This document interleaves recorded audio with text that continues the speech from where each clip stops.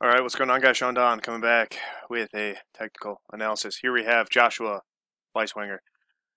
Uh, technical analysis number three on the season. Love to see that consistency in uh, in terms of I don't know, kind of getting back to me and, and continuing to seek uh, more solutions, if you will.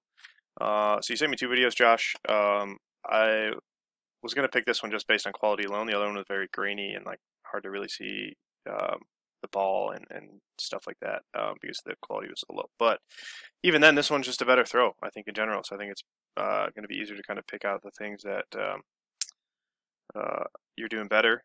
So let's take a look.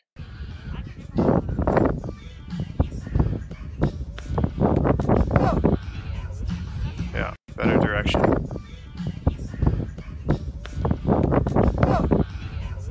Yeah.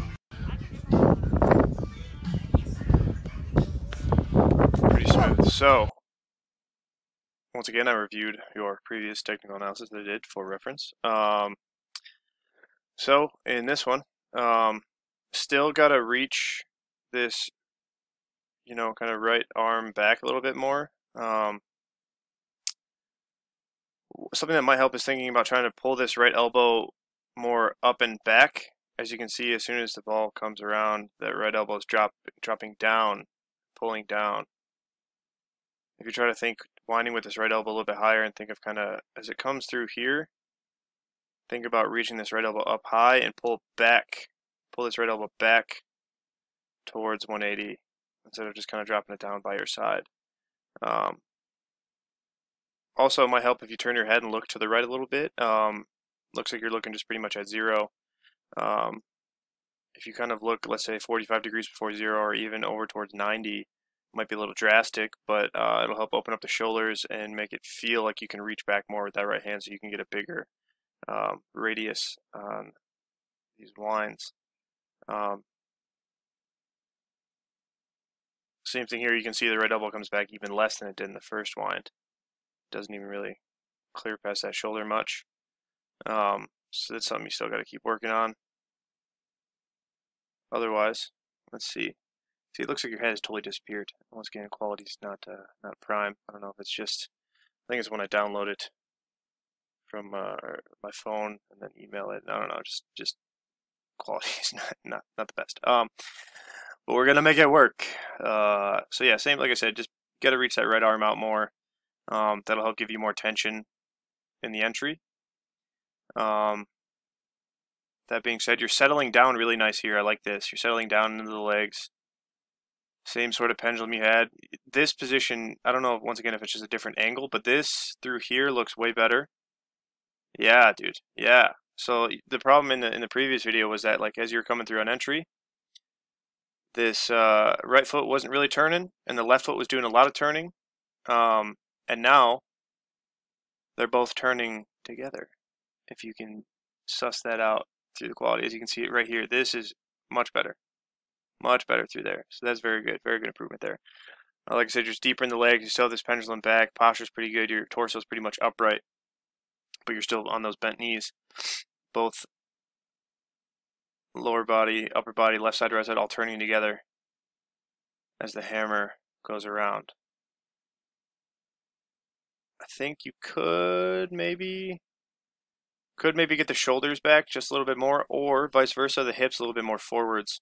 Um, that's kind of nitpicking though. Like I said, I think the the general movement here is much better. But then as you can see towards the end, like good good end of double support. But then just after that, you can see this these hips kind of push backwards a little bit. You want those hips a little bit more towards the ball, especially like in this position right here you want those hips more towards the hammer. So a cue that you can think about is is driving that right hip towards the high point. Um, think about reaching this right hip to where the ball is going in single support. You do it towards the end of single support, but I think if you get it going a little bit earlier, it'll help you catch this a little bit sooner.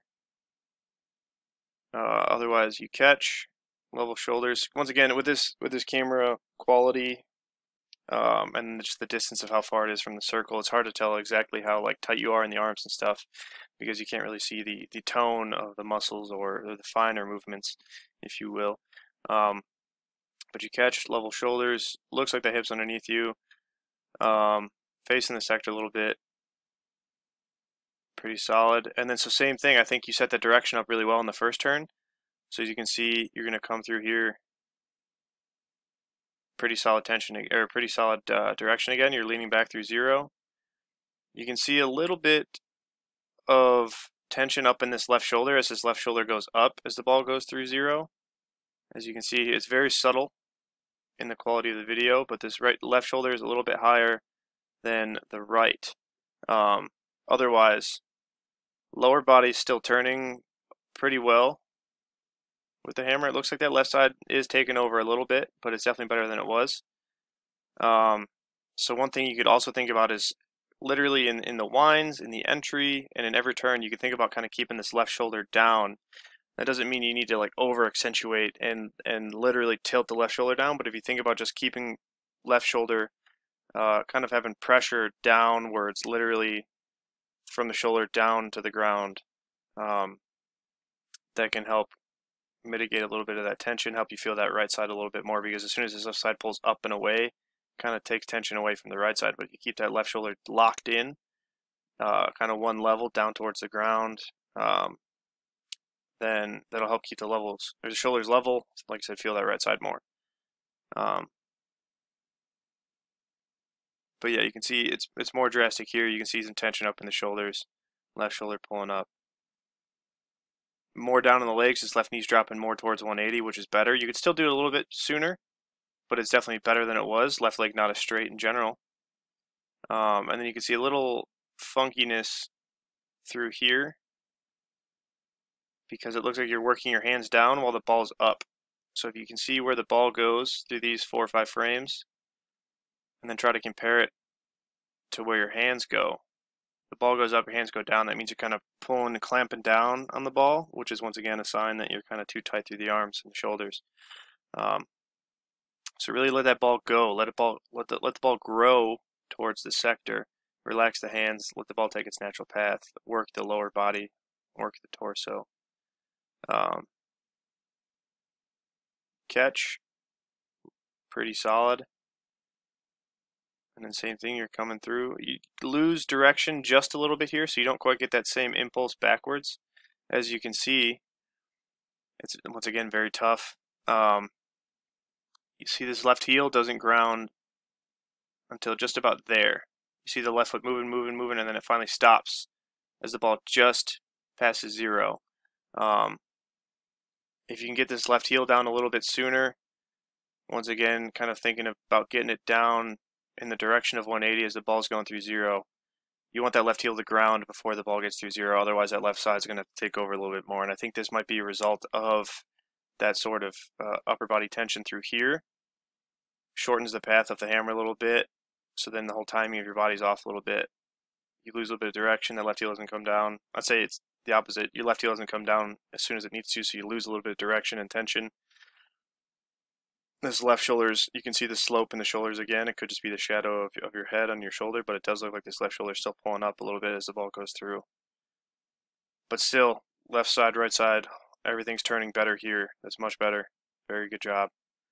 And then let the ball grow. And you kind of see it a little bit here. Ball goes up, up, hands go down, ball still kind of going up, and then you're kind of clamp it down, just a little tension. And then with that right foot coming so far back, that means uh, once again you're kind of losing tension. You're kind of falling back into the circle a little bit. Catching that, man, 270-ish, not bad. But yeah, you can see most of the tension in this turn is coming through that left side. Need a little bit more right side, so you got to catch a little bit deeper, work that right side a little bit more before that left side starts getting into it and that'll help kind of cement that right leg into the ground and help you finish with a little bit more direction. So, yeah, dude, uh, great job on improving since last video. Like I said, your whole body's turning with the hammer better. You have a little bit more tension and direction, which is great. Just like I said, some minor things you can change, controlling that left shoulder still, and then um, making sure you, you know, let the ball grow naturally towards the sector. So yeah, good job. Let me know if you have any questions. Always here to help. If anybody, if anybody else out there would like a technical analysis, hit me up on Instagram, sdthrows. Email me, sdonnelly757 at gmail.com. Always happy to help. Thanks for watching. Sean Don. Peace and out.